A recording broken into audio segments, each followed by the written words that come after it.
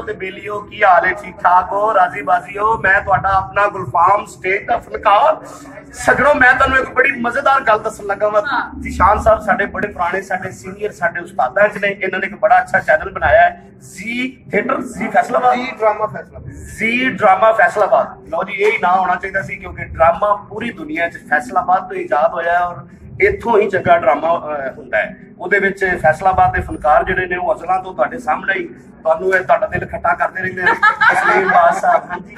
ਇਹਨਾਂ ਤੋਂ ਬਗੈਰ ਤੁਹਾਡਾ ਗੁਜ਼ਾਰਾ ਵੀ ਨਹੀਂ ਹੁੰਦਾ ਕਿਉਂਕਿ ਇਹਦਾ ਮੂੰਹ ਹੀ ਐਸਾ ਵੇਖੋ ਨਾ ਤੋਬਾ ਬਸ ਆਪਣਾ ਰਿਸ਼ਤਾ ਲੈ ਕੇ ਫਿਰਦੇ ਰਹੇ। ਸੋਬੀਆ ਜੀ ਸਾਡੀ ਸਟੇਜ ਦੀ ਬੜੀ ਜਾਨੀ ਕਿ ਟੋਲੀ ਟੋਲ ਜਿਹੜੀ ਸਮਝੋ, ਜੋ ਮਰਜ਼ੀ ਸਮਝ ਲਓ, ਉਹ ਹੀ ਹੈ। ਰਾਸ਼ਦ ਕਮਾਲ ਫੈਸਲਾਬਾਦ ਦਾ ਜਿਸ ਤਰ੍ਹਾਂ ਤਸਲੀਮ ਪਾਸ ਨੇ, ਫੈਸਲਾਬਾਦ ਨੂੰ ਬਹੁਤ ਹਸਾਇਆ ਹੈ। ਉਸੇ ਤਰ੍ਹਾਂ ਰਾਸ਼ਦ ਕਮਾਲ ਨੇ ਵੀ ਫੈਸਲਾਬਾਦ ਨੂੰ ਬਹੁਤ ਹਸਾਇਆ ਹੈ। ਮੇਰਾ ਸ਼ਹਿਰ ਜਿਹੜਾ ਹੈ, ਮੈਂ ਵੀ ਫੈਸਲਾਬਾਦ ਨਹੀਂ ਹਾਂ, ਕਿਉਂਕਿ ਜ਼ਿਲ੍ਹਾ ਮੈਨੂੰ ਫੈਸਲਾਬਾਦ ਹੀ ਲੱਗਦਾ ਦੇਖੋ ਜੀ, ਤੁਸੀਂ ਫੈਸਲਾਬਾਦ ਚ ਗੁਰਫਾਮ ਸਾਹਿਬ ਇੱਕ